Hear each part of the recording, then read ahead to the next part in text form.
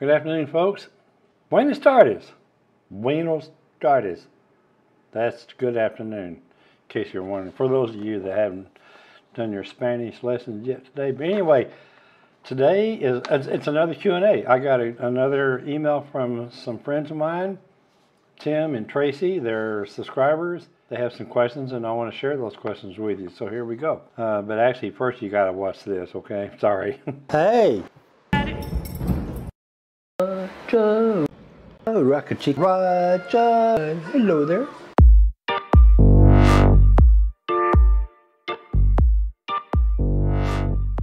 Well, this is the second time today that I've done this video. The first time, as you can see from the start, before my intro, that my hair was all messed up. I stepped out on the balcony to look at something that was going on outside.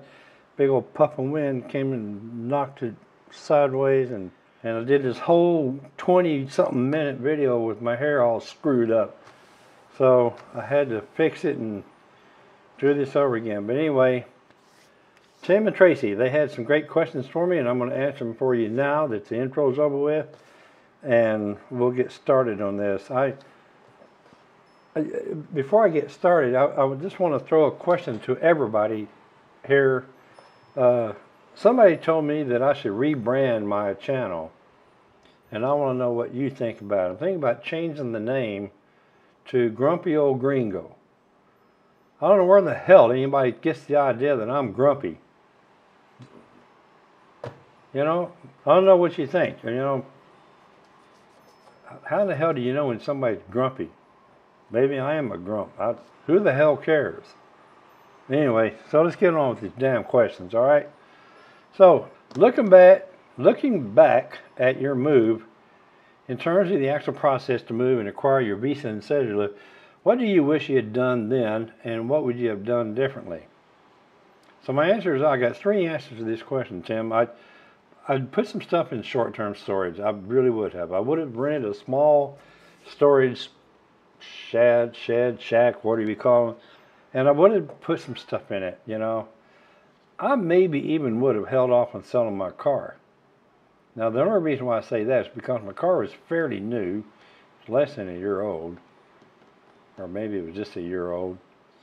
You know, and I might would have kept it just in case because you know when that when you get here and that honeymoon period's over with, you start sometimes it's easy to think, uh, do I want to go back? You know, but then if you just stick around, you end up you, you won't be thinking that for very long. All right. The second thing I said was have the visa facilitators handle the apostille process for me instead of me doing it. It's, it's folks, it's so easy to think, oh, I can do this, I can handle this and save a couple bucks. Let me tell you what you don't want to save money on, okay? in your move to Ecuador or any other country. Don't pinch pennies on getting your visa stuff. Hire a professional, hire a professional, okay, and have it done right. And pay the price, okay? It, you've heard that expression, pay me now or pay me later.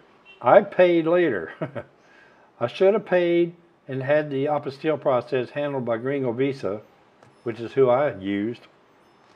Instead, I tried to do it myself, and it ended up costing me more money because I didn't get the stuff back in time before. I didn't get it back before I left to come here, and I ended up having to pay an outrageous fee to have my documentation DHL to me here.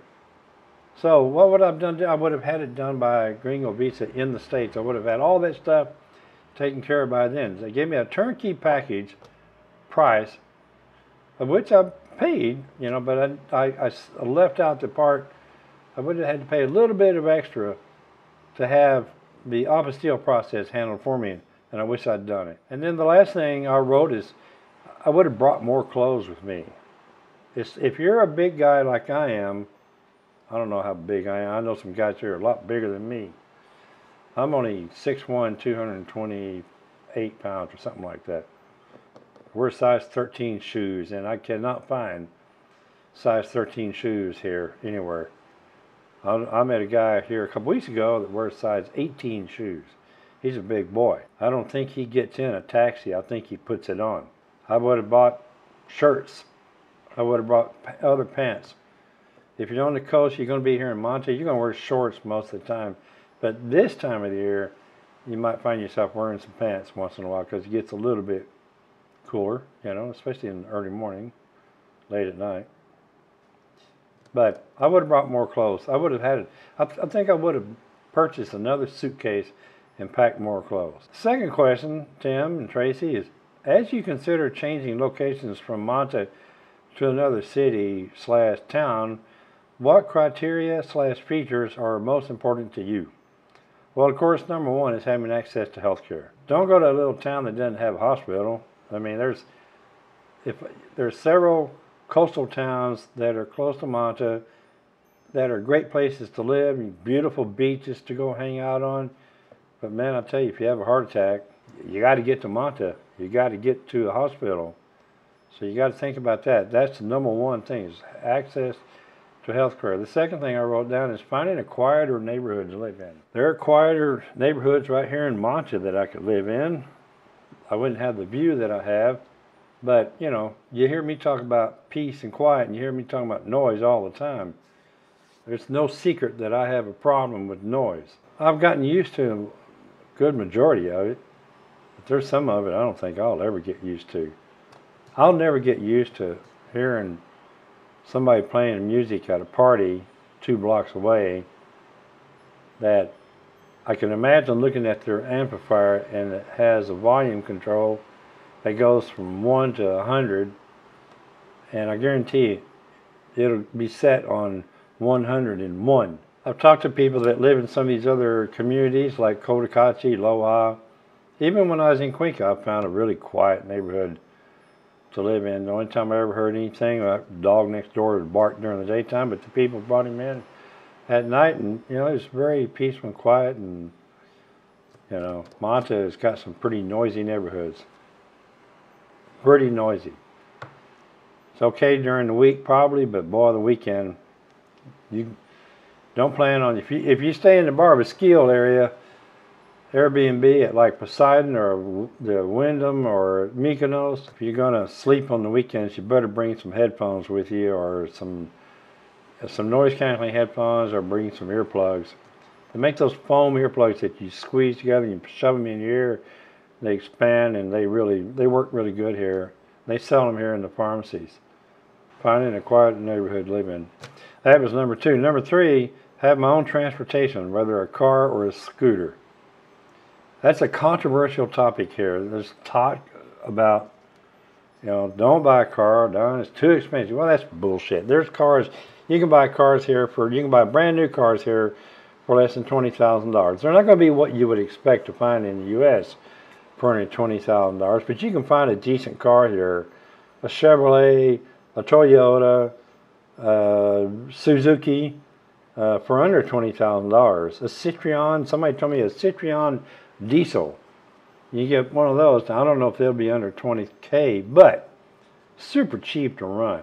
And of course, you hear about, you know, all the negative talk about, oh, maintenance and upkeep and all that kind of stuff. You know, for me, a car would work out pretty good because I don't know how long I'm going to be here. But the nice thing about buying a car here, you can buy a car here, and when you're ready to leave or you want to get rid of it, you will be able to sell it at a premium, at a premium, folks, because used cars are a hot commodity here, especially if they're in good shape. Don't buy a Chinese car, fall apart on you before you get home with them. Uh, do you have a list of possible locations to move to? Yes, I want to see the following cities, and here's why. Uh, Loja. I, I would love to go see Loja. I want to go visit it. It's in the southern part of the country. Um, south of Cuenca, you know, and it's in the mountains. It's beautiful there. Lots of expats there. Supposed to be a very expat friendly place to live. I've often thought about Vilcabamba, but I tell you folks, I can't get excited about going to Vilcabamba, and some of you have heard me say that before because there, there's a little problem with Vilcabamba, and that's the problem there. Uh, from what I've read in the local papers and so forth, is uh, the indigenous population there in Vilcabamba, they just don't care for us expats. I'm sure that if anybody wants to prove me wrong, you knock yourself out. I'm, I'm not I'm not trying to diss Vilcabamba, but I've heard some horror stories about some things that have happened to some expats that live in Vilcabamba, unfortunately, and it had to do with dealing with uh, uh, local indigenous people. They just don't want us there. So Vilcabamba is at the very bottom of the list, as much as I've, I've heard about it being a really wonderful place to live. Climate's supposed to be like 75 degrees every day of the year. And, uh, not for me. The other one besides Loja would be Cotacachi. Cotacachi is on the other side of Quito. It's just north of Quito. It's a great little town. It's surrounded by some other great little towns. It's surrounded by snow-capped mountains. There's a beautiful lake up there. The big industry in Cotacachi is leather. You can go up there and get a leather jacket made for pennies on the dollar. Food's supposed to be really good, great entertainment. It's kind of like a little mini Cuenca. I'm going to visit. I'm going to go visit Cotacachi. As a matter of fact, I'm going there before I go to Loja. And when, I don't know, but sometime very soon. I guarantee you, I'll do a video about it. I'll do a bunch of videos about it. All right? The other place is Querétaro, Mexico. That's not in Ecuador. So I'm done. If I don't like Loja or Cotacachi, or I don't decide to move to Cuenca, or I don't decide to stay right here in Manta, and if I leave Ecuador, I'm going to Mexico. Great community, great city. Querétaro north of Mexico City. It's an international city. It's very modern, super modern. They got quiet neighborhoods to live in. Cost of living is okay. I can meet the qualifications for getting my visa there, unlike some that are less fortunate and can't do it because their income requirements are uh, significantly higher than what they were when I came here. I think it's like $2,600 a month or something like that, or you have to have a certain amount of money in the bank and show that you've had it for like 90 days or something like that. But I don't know. I'm sorry, this video is not about living in Mexico. But anyway, uh, and then of course my last choice would be back home to Mesa. God forbid, I don't want to have to go back to the United States. I do not want to have to go back there. If I got really ill, I would need the VA and I'd probably go back for that purpose. But I can't think of any other reason to go back there, at least not under this administration. Let's see what happens under the next administration. So probably never get to do that. Number three, taking into account your experience in both Cuenca and Manta, if you could transplant any type of business from the U.S. into one or both of those cities, what would it be? And then he said, for example, what do you believe would be a great business opportunity for expats in Ecuador? Okay, number one, right here in Manta, I would have a McDonald's. There is no McDonald's in Manta. There's McDonald's in Cuenca, Quito, Guayaquil. Not in Manta. Why? I don't know. I, there's a lot of questions about Manta.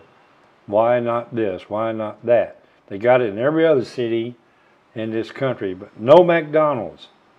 That should be a crime. There needs to be a McDonald's. As a matter of fact, I love McDonald's so much I'm going to make a promise to you. If you come to Ecuador and you settle in Manta, and you have to go to Guayaquil to get your cedula, which is where you'll have to go to get it, unless you want to go all the way to Quito or Cuenca, you have to go to Guayaquil to get your cedula. Well, guess what's right next door to the Civil Ministry Building in Guayaquil, where you get your cedula? Nothing other than a McDonald's. If you come here and you go in there and you're going to go with Juan Zambrano or another driver, I'll ride with you and I'll buy you lunch at McDonald's, okay? That's my promise to you, okay? McDonald's. I'd have a McDonald's here. The other thing, bars and restaurants, especially bars. I would love to see a bar here where you walk into it and it's so dark that you have to stand there for five minutes trying to see where you'll be required to have a flashlight to find your way to your bar stool. So dark. And I want a horseshoe shaped bar where I can stand up there and flirt with the bartender. I'd love to have a nice little bar to go to here. I can't find one yet. There's restaurants on the beach down here and there's places all over the place that they have bars, but it's just not the same thing, folks. Not the same. The last thing I listed was bed and breakfast. I don't know how important that is, but there's a little hotel right behind me here. Some people have heard me mention it several times. I'd like to have that little hotel. It's about, I don't know, 15, 20 rooms. It's old building, old historic building. been here for years. It's been here when there was nothing else here. And I would love to have that place and turn it into a bed and breakfast, serve breakfast in the morning, and have a piano bar. Got a little tiny bar. I'd, I'd turn all, cover the windows up and turn all the lights off, and I'd have a bar, fully stocked bar in there, and we'd just have music playing right there, and that would be like a piano bar. You know, that's what I would do. We, need something like that here. Number four, discounting language. Boy, this is a good one. Discounting language, what was, is the most difficult cultural obstacle you and other expats have faced in assimilating to Ecuador. I, you know what, guys? I could come up with a huge list here. I came up with six items. I'm looking down here at my my computer. I have my laptop right here, and I could come up with a whole bunch, but I don't want to make it too negative. I, this is not about negativity, but anyway, here we go. I'm starting off getting used to the way things look. I've had people telling me, oh my God, and I experienced this myself. I came here, the first thing I thought after leaving Guayaquil was like, my God, this place looked like a hurricane came through here and nobody, nobody cleaned it up. It's a mess. You see so much destruction and so much poverty. You see houses with no windows, they have openings, but no glass windows and no curtains, no nothing. It's all up and down this coastline. It's like that. I'm not meaning this in a, not trying to be negative or be be down on Ecuador or down on the coast or Manta, but it's there's a lot of old architecture that's been here for years, and they've suffered from several hurricanes. And as you know, folks, there's not a lot of money here, and these people have not been able to repair the infrastructure here like we would do back in the States, where we have trillions of dollars, you know, in our budget. I bet you that'll stir up a little political shitstorm here. But anyway, no, no talking politics on this channel. Uh, number two, dealing with the lack of technology that we're used to using in the U.S. One of the things that I'd always like to do when I was in the U.S., I go to the grocery store and at the point of sale system at the counter, I could use my phone to pay for my groceries. Don't have that here. Maybe they do it in Quito, maybe, I don't know. Maybe in Guayaquil, but they don't have it here in Manta, and I didn't see it when I was in Cuenca. It would be nice to have point of sale systems. It'd be nice to have a point of sale system in their taxis, you know, like we do in New York City and some of the other bigger cities in in the U.S., where you can pay for your taxi with your debit card. God, we need that here bad. There's a lot of technology that's missing here, folks. I mean, don't, don't, I mean, I, I haven't been able to find a, a laptop computer here with a 9.9 processor in it. I, you know, there's, I'm sure they're here somewhere, but oh my God, it'd be so outrageously expensive. You're better off to buy one in the United States and have somebody mule it in for you. Technology, I mean, they're, they are behind the times here in technology. The other thing, number three, lack of quality red meat. Here comes another shit storm. All the vegans are now going to, please reserve your comments, keep them to yourself, folks, about veganism and red, against red meat. I don't, we don't need to hear all that. For those of you that like red meat, you're going to have a hard time finding good quality red. Meat. We do not have a USDA prime rib here. The best beef around here comes from Argentina. Argentinian beef. Here in Manta, I've yet to find a good steak. I've not had one yet. I've tried, can't find a good steak here. Ribeye or any kind of steak. You're better off just go buy hamburger meat and just make hamburger patties. There's a meat store here in Manta. I haven't tried them out yet. I'll do a video about it when I do. They supposedly have really, really good beef, and I'll be anxious to try it out and report it to you. In Cuenca, I had one of the best ribeye or filet mignons that I've had in a long time. At the Society, see, the Jazz Society Cafe. Cost me 14 bucks. Nice thick filet mignon. I don't know where it came from. Don't care. It was good. It was tender. I could cut it with a fork. It was delicious. So, especially in the coastal region here, it's going to be hard to find, especially affordable red meat. Uh, number four, I know this is going to open up another storm, but here goes. Lack of English speaking professionals, particularly in the medical services industry. Let me explain myself, okay? Before you start telling me, Don, if you want to live there, you got to learn the language, blah, blah, shit. Okay? I know I got to learn the language, but you know, I'm 70 years old and it's not that easy to learn Spanish and fluently to where I can go to a doctor and talk to a doctor and, and tell them what's wrong with me. Thank God Dr. Garcia speaks great English. But I, I, when I went to a dermatologist here, I had to have an interpreter, you know, and they teach English in the schools here. They teach it in the schools, but they don't want to use it, it seems like. I'm sure this is going to open up a big fight and an argument from people, especially locals. I'm sorry, you know, but I, I just wish that in some of the arenas, like in the mall, in the clinic, where they see expats and locals, that they would have some English speaking people in there that we could talk to uh, without having to have an interpreter. That's all I'm gonna say on that. Please, no, keep your your your fight to yourself, okay? Number five, getting used to earthquakes. That's a good one. Let me see here. Let me see what's been going on here in the last few hours. There are earthquakes here. I have an app on my phone called Earthquake. And what do you know? It's very quiet, you know. Uh, there was only one today at 1018 in Oswego, guys, that's up near Guayaquil. There's only 3.6, so nobody, you know, would have felt it. But the fault line runs right off the shore here, and man, we get a lot of little earthquakes here, little shakers, and little tremors, you know. They had a big one in 2016. Oh, to hell we don't have one of those, at least while I'm here. You know, it's been quite a experience for me. A lot of people say, oh, you'll get used to them. I'm never going to get used to an earthquakes. They, especially when they come in the middle of the night. Terrible, terrible. Getting used to earthquakes.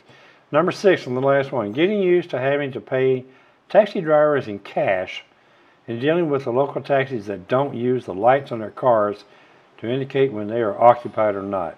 You have to have coin. You got to have change to use the taxis. Some taxis will have change, but ask them before you get in the car. Before, let me repeat that. Find out if they have change for your 5 or your 10 or your 20 before you get in the car. Because if you show up at your destination and you say, oh, wow, you got, uh, here you go for your $1.50 fare, you know, they're going to say, oh, I ain't got no change. It's going to happen to you. Then you'll get to learn what being gringo is. It's a shame that the taxis, number one, they don't use the meters here like they do in Cuenca. But you, you can, it's so easy to get gringo by the taxis here. You almost always got to have correct change. That's why I always tell people all the time, keep your little dollar coins Keep all the change. Keep your pocket change. Keep it for taxis because you're going to need it. So that's all on that question. All right. So number five, as an avid breakfast connoisseur, is there a traditional Ecuadorian breakfast that you have tried and enjoyed? Yes, I love hallacas. Here's the way you spell it right here. And it's a breakfast deal. It's a wrap. It's in a, they wrap it in banana leaf. It's, it's cornmeal and inside the cornmeal is uh, pulled chicken, like, you know, pulled shredded chicken, like shredded chicken breast. They put peanut sauce in there. Oh, that stuff is so good. And they put a part of or a quarter of a, a hard-boiled egg, some really sweet um, raisins that are super good, and and then they put cilantro on it. Now, not everybody likes cilantro. I don't like cilantro.